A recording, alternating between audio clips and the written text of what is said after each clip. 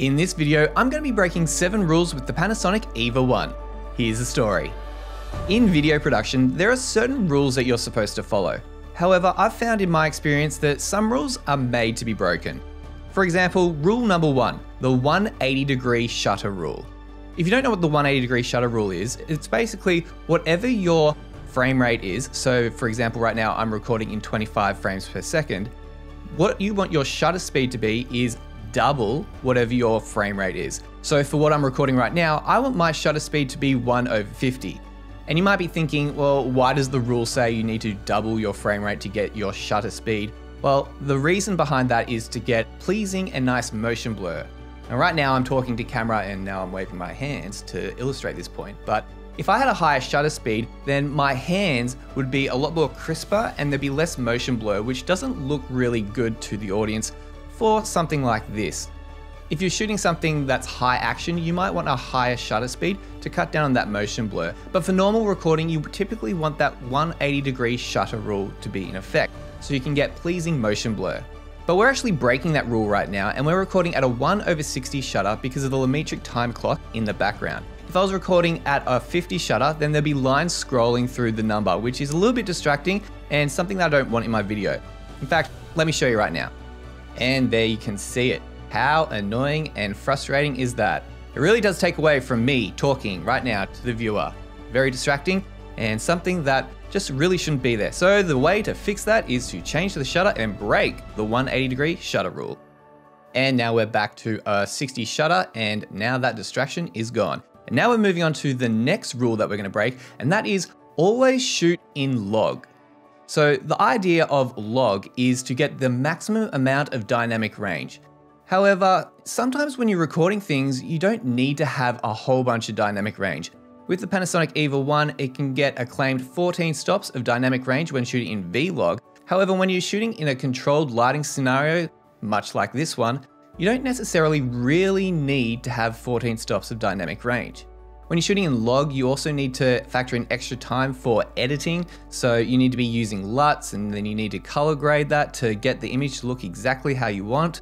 And it can be a lot of extra work that isn't necessarily needed.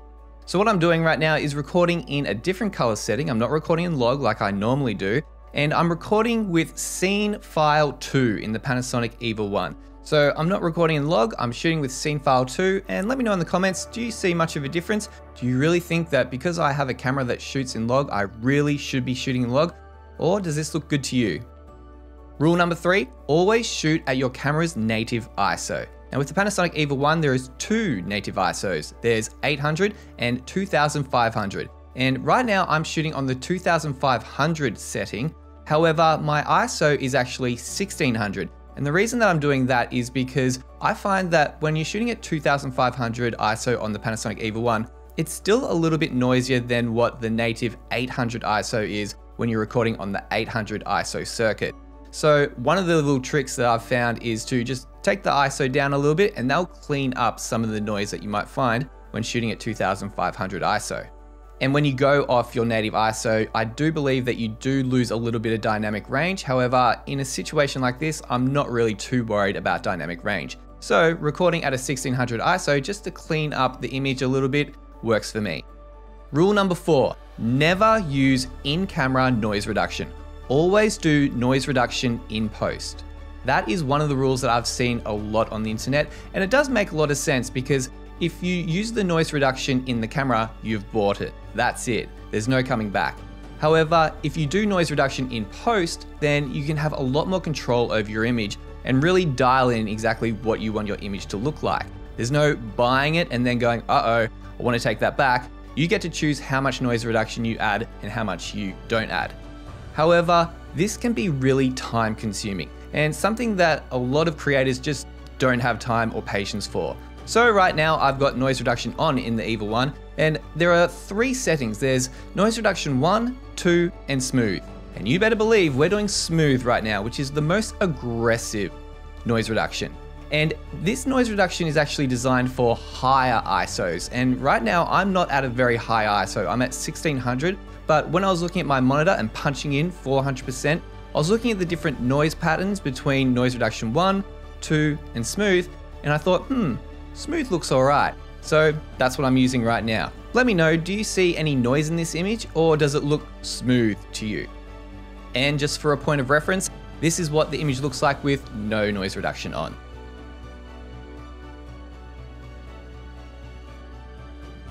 And now we're back with the smooth noise reduction. And rule number five is you always want the sharpest image. Cameras these days are known to be very sharp, and the EVA 1 is notorious for being a sharp camera as well. It's got a 5.7K sensor, which then downscales to 4K, and the idea behind that is to give you a nice sharp image. However, for some people, having a really sharp image isn't very flattering and isn't desired. So what I'm doing right now is I have a Tiffen Black Pro Mist filter 1/8 strength on, and the idea behind this filter is to cut back on some of that digital sharpness that you might get out of these modern cameras. The idea is to cut down on that digital sharpness and also add a little bit of bloom to the highlights in your image. But let me know what you think. Right now I'm really just experimenting with this filter to see if I really like the look. So far I like it, but let me know in the comments, do you like the look or do you think it's not necessary? And here's what the image looks like without the filter on.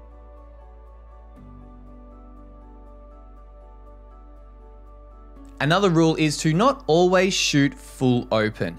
And when I say full open, I mean opening up the aperture of your lens to the max that it will go. So right now I'm using the Sigma 18 to 35 f 1.8, but my aperture right now is set to 2.8 because I'm not opening it up all the way so I can have a bit more depth of field in my image. However, let's break that rule.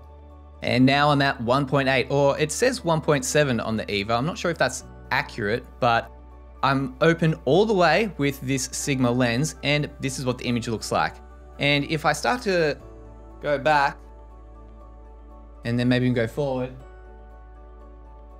you'll see that I've lost a bit of my focal depth of field, so I need to be really careful that I'm not leaning back or leaning forward too much changing the focus of the image, meaning that I'm in focus or out of focus. It does soften the background up a little bit as well, but normally I'm happy with the 2.8.